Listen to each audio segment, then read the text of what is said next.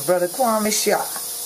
This year, the end of the Gullah Geechee Nation International Music and Movement Festival 2013. What gonna have to say this year weekend?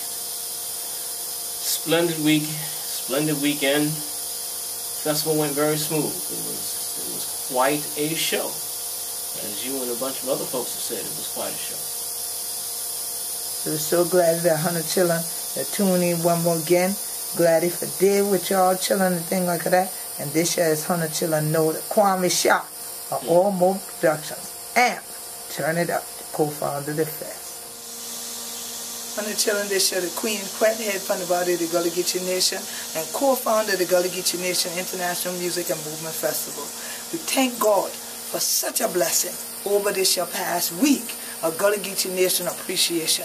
If Hunter ain't been to Beaufort County, South Kakalaki, we just going to share what we got with Hunter this year week. But Hunter need for join we someday. Next year, come on down to these Yasti Islands in the Gullah Geechee Nation and be part of the family for the Gullah Geechee Reunion, Gullah Geechee Family Day, and all these other good things were coming on the way. Children, God bless you.